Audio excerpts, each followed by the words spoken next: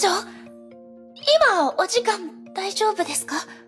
あの、これ、受け取ってください。トリュフチョコです。館長はこういうチョコが好みだと聞いたので。はい、いえ、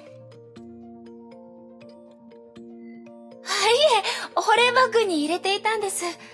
チョコレートは熱に弱いですから、館長に渡すまで出来上がりの状態をキープしたくて、お味はどうでしょうか？気に入っていただけてよかったです。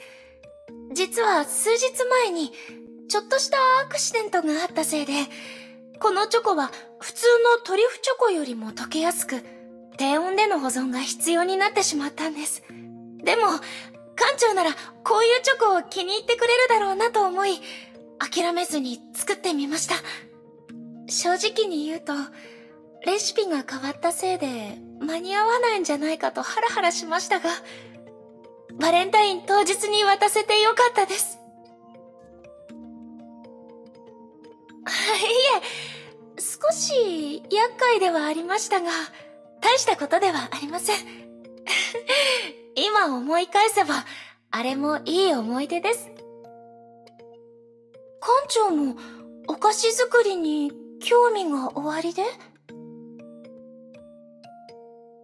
最近、ハイペリオンではお菓子作りに興味を持つ人が増えているみたいですね。館長も作ってみたいようでしたら、私がお教えしますよ。いいえ、そんなことありません。それに、館長は器用ですから、きっと美味しいチョコを作れるはずです。では、今夜キッチンで待っています。材料も用意しておきますね。